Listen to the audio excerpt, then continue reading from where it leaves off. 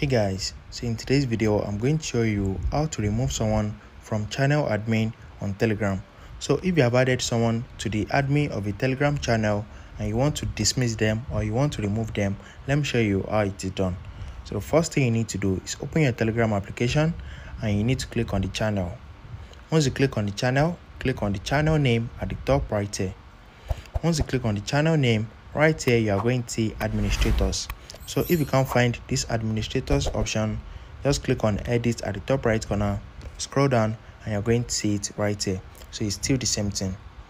Once you click on administrators you are going to see all the admins that you have added.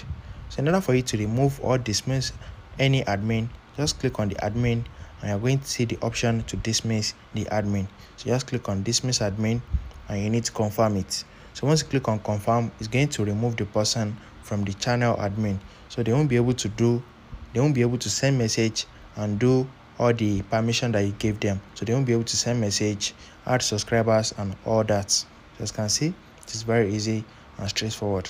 You can also click on edit at the top right corner.